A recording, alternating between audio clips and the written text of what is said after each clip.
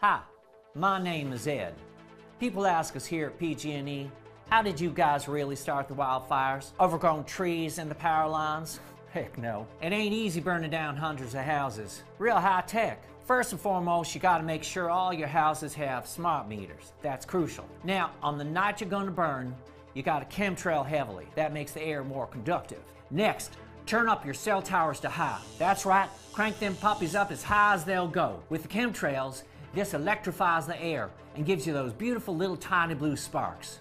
Now, have local HAARP create a strong wind, and as a final stroke, boost up those smart meters. That's right, don't be shy, turn them up all the way. This turns houses into toast. Only really costs us 77 cell towers and some underground cable. But don't try this at home. We're professionals. Another Rothschild utility. No shit.